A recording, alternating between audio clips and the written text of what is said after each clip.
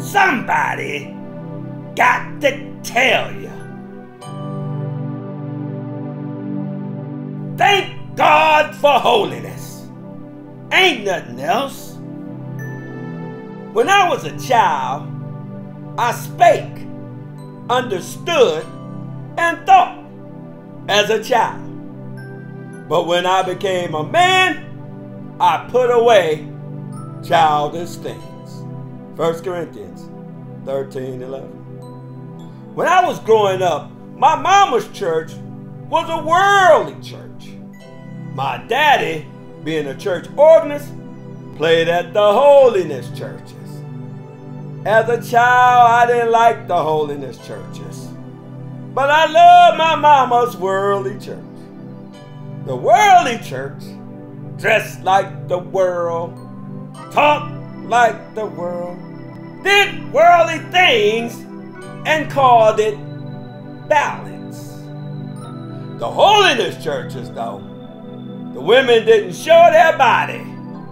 They didn't wear no breeches, no makeup, no earrings or jewelry, no movies, no wine, no dreadlocks, no braids, no tattoos, no mingling with the world. And they called it sanctification. As a child, I didn't like the holiness churches. But when I got saved, I put away those childish things and thoughts and realized that all that is in the world, the lust of the flesh, the lust of the eye, and the pride of life, is like a contagious disease. When someone has COVID, you don't want to touch them or anything they touched.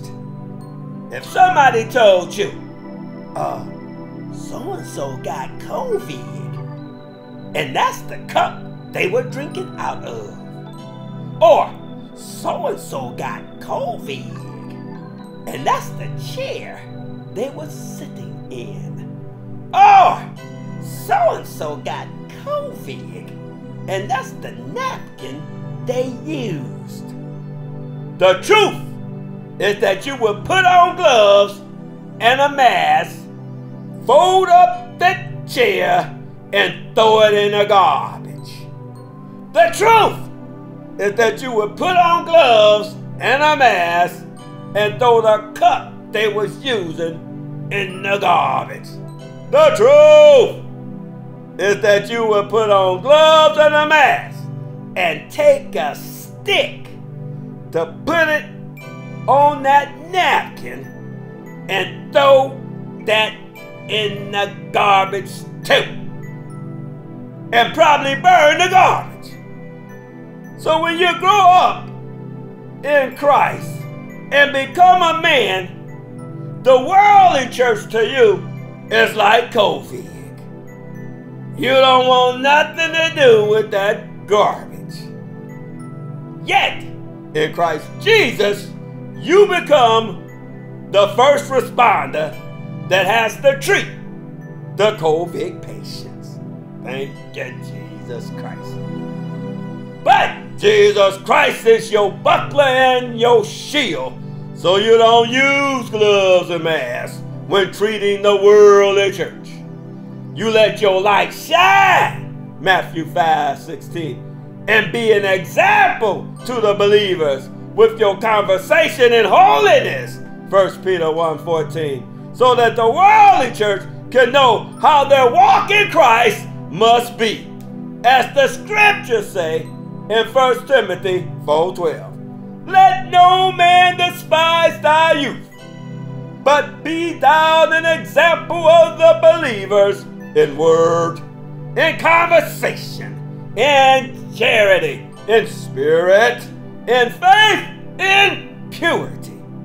Now, as a man who has put away childish things, I can testify and call heaven and earth to record this this day that I thank God for holiness ain't nothing else. Holiness becometh thine house, as the scriptures say in Psalms 93 5. Thy testimonies are very sure. Holiness becometh thine house, O Lord, forever. Too many folks are believers, but it breaks the heart that too few folks are saved. They ain't delivered, which is what saved means. Joel 232. They are the same old creatures with the same old lust of the flesh, lust of the eye, and the pride of life, making them worldly, making them friends with the world and enemies of God. James 4 and 4. This is what the scriptures say in 2 Corinthians 6:14. Be ye not unequally yoked together with unbelievers. For what fellowship have righteousness with unrighteousness? And what communion have light with darkness?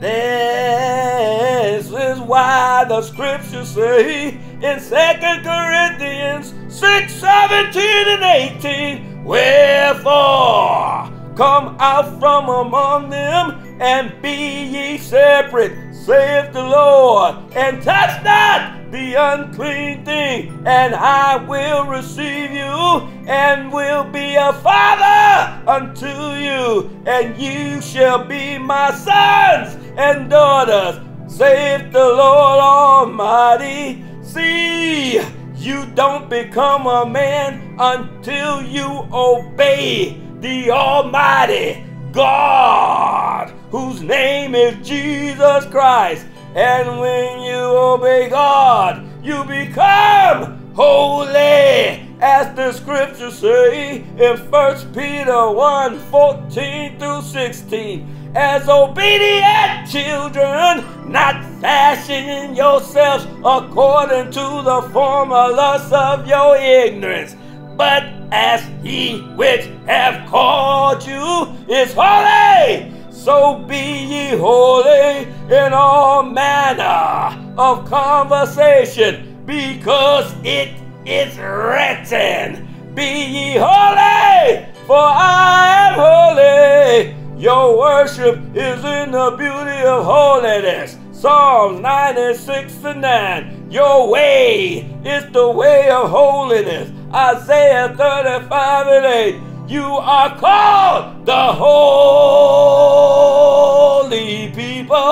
Isaiah 62 and 12. You perfect holiness in the fear of God, cleansing your flesh and spirit from all filthiness. 2 Corinthians 7 1. Even your women dress in holiness because it becometh women professing godliness. 1 Timothy 2.10 They learn from the men to the women that the things that are attractive to the world, such as men with long hair, tattoos, and other things, and that women wearing breeches, pants, paint, makeup, earrings, nose jewels, gold, pearls, cutting their hair, and others with broidered hair, hair weaves, is not beautiful to God. How do we know? Because the scriptures say this in Psalms 149 and 4. For the Lord taketh pleasure in his people. He will beautify the meek with salvation. It's just as vain as old men dyeing their hair black because it is written in Proverbs 20 29 the glory of young men is their strength, and the beauty of old men is the gray head. All of that, what the worldly world does, what the worldly church does to be beautiful, to be fashionable in the ignorance of their lust is garbage. But in holiness, you don't have nothing to do with that because we are pilgrims and strangers in this world passing through to go on to glory. 1 Peter 2:11. We are right now in the perilous, dangerous times. Your soul is involved here, so you can't mess up. This is why Jesus Christ commands his disciples in Matthew 5 48 Be ye therefore perfect, even as your Father which is in heaven is perfect.